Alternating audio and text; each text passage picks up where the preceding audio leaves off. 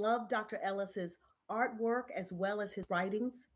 The Art of Ellis always brings me into a place that causes me to think deeper than I ever have before and to rethink what I think I know, what I think I should know, and go after as far as knowledge.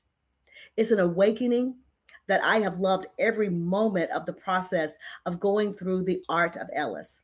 The artwork that Dr. Ellis did for me shows like a window to my soul bright, light, and then around that light in my, my soul. You see those things that for me could confine, could restrict the thinking, the praxis, the way of being as a human being. But then around that is the brightness and there's even a way to that brightness, and you see the brightness coming to the soul. The art of Ellis, I love the brushstrokes, the different ways that he will show and give you an experience of who he is as a theologian. The strokes could be inward, but then you always have a way of escape. That's how I see his artwork. He shows you even through his photos the beautiful sky and the and the way that things come and go regardless of how we be in space and time. It's very freeing. And when the brushstrokes, I've noticed when they're very inward and he's using all the different colors, he may put a ladder in there so that you can take a step higher in your thinking and your way of being, your way of escape. I simply call it the art of Ellis.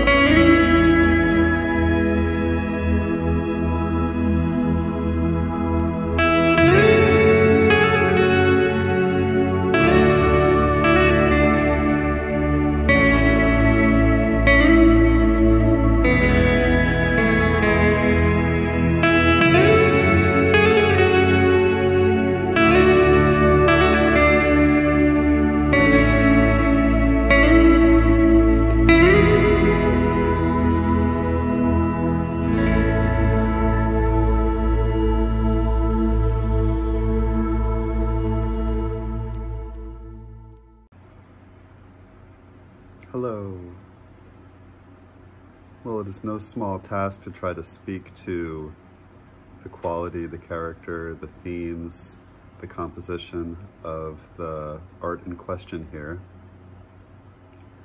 One thing that comes to mind is that there is a striking sense of movement in all of these pieces, whether it's uh, shifting from shape to shape, from color to color, or a kind of leaning of structure, these kind of portals and gateways of, you know, overpasses to the beach, ladders,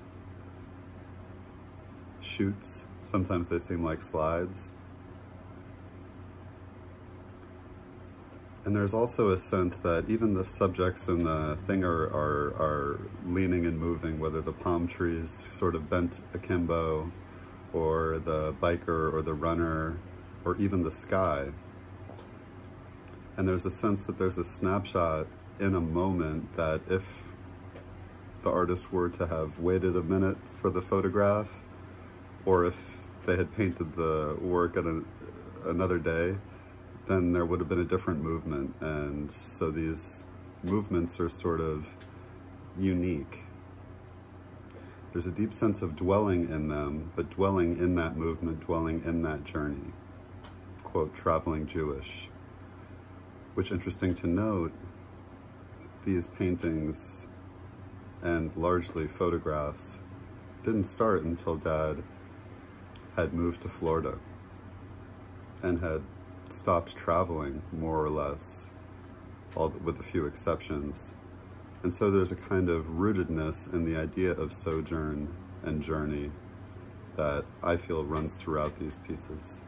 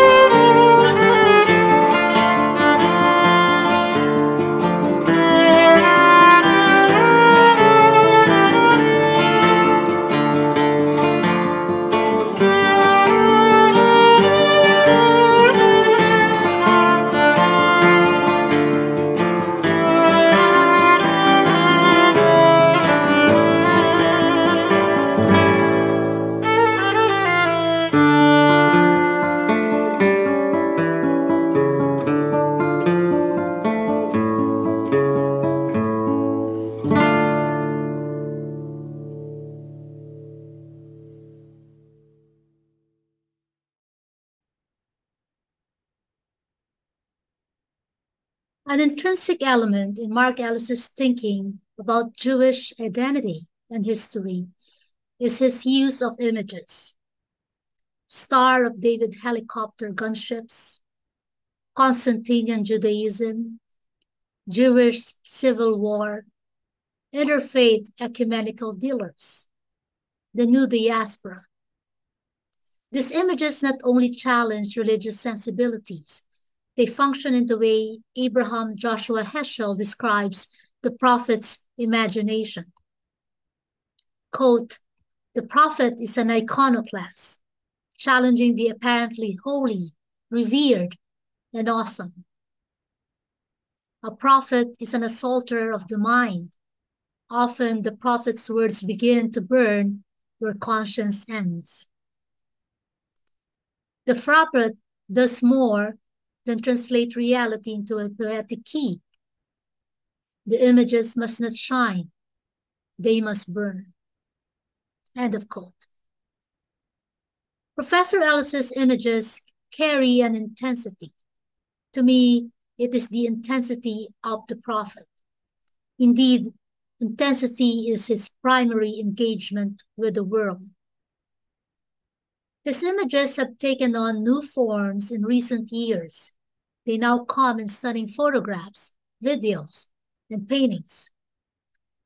These forms are more difficult to comprehend than the written or spoken words. Looking at these works of art in front of us is an exercise in prophetic imagination. Can we listen to the prophetic words conveyed in the dark beauty of dawn turning into a gorgeous sunrise? Or to floating ladders stretched in a sea of lavender acrylics? They challenge our religious imagination. They summon us to see beyond the text.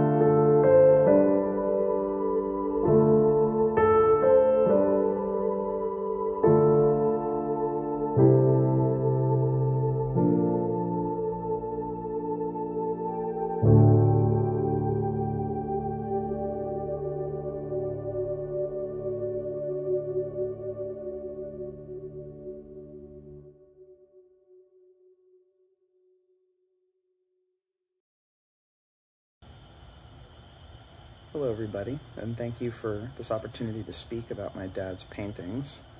Uh, I think a lot about his tendency to abstraction, which of course evokes the modernist painters that I know he likes. Uh, of course, you can see that at least one of the paintings pretty directly references Russian modernist Vasily Kandinsky's 1913 color study, Squares with Concentric Circles, which gets me thinking about what we often think of as the spiritual in art to use Kandinsky's phrase. That spirit is often thought to manifest itself as a certain kind of confidence in the relationship between artistic form and social change. In my father's canvases, I often detect a brooding sensibility, not at all confident in that way that, I, that we might mean when we think of the spiritual in art. If this is a kind of modernism, then it is the kind that dwells in life's fragmentation in the pall of impasse and impossibility. We see these same mournful shapes and textures in his theology as well, especially recently. So, what do we make of a 21st century Jewish theology enacted in painting that bears these mournful contours? Does form have a function? Do our isms or our commitments gain or lose power when they crystallize in form? Does form turn outward or ultimately does it turn inward? Those are some, some thoughts that I think as I find myself surrounded by his paintings. Uh, thank you so much, and uh, hope you enjoy the work.